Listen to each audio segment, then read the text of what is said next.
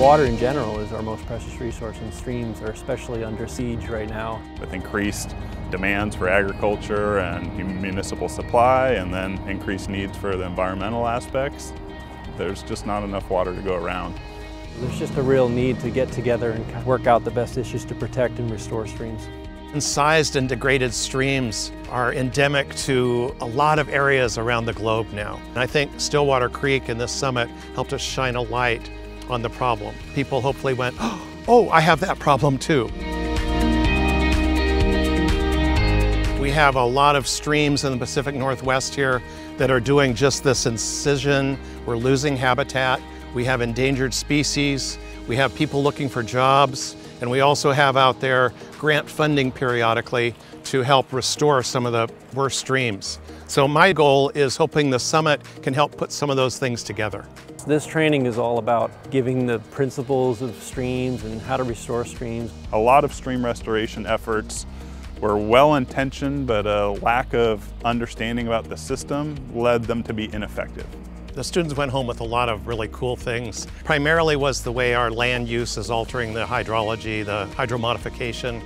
They also took home a bunch of tools that are environmentally sensitive. Those are techniques we can actually employ at various sites in the stream. They learned a lot from our visiting instructors also about looking at the bigger scale, the entire stream, the entire watershed, the stream reach. They got an opportunity, I think, then to take a lot of that geomorphic information and then come out and do our stream walk and look at the stream maybe a different way.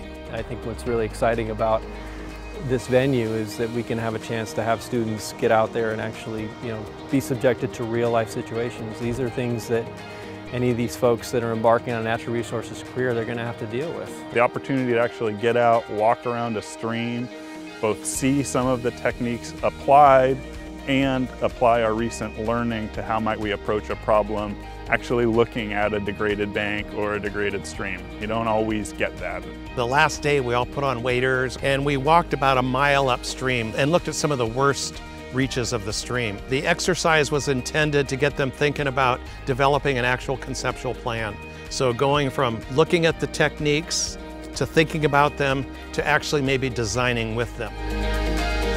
Shasta College is a fantastic location for the Stream Summit. And we spent the day in a classroom and now the afternoon with about a three minute drive, here we are at the stream and we're able to do the field aspect of it.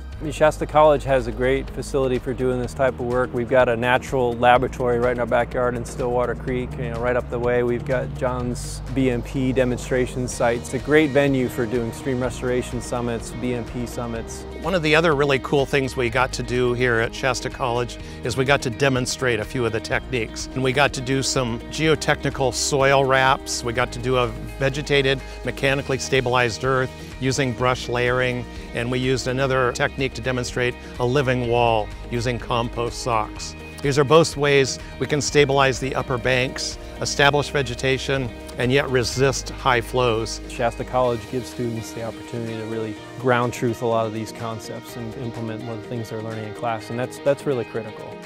The attendees were very well rounded. We had several private consulting engineers. We had about five members from the State Water Board. We had about four or five members from the Santa Clara Valley Water District. And very importantly, we had about 13 members from Caltrans. It's a pretty good spread of students, both from people that want to go out and do it to people that are writing permits for this type of work and want to understand it better to folks that hire consultants to do it and just want to be more familiar with the techniques that somebody is selling them. There is a lot of uh, job opportunities restoring streams. Summits like this are great because there's a real change of ideas. Here we're the technical practitioners, but there's a lot of give and take. These type of short course workshop environments are really about the best avenue somebody has to learn about these type of techniques.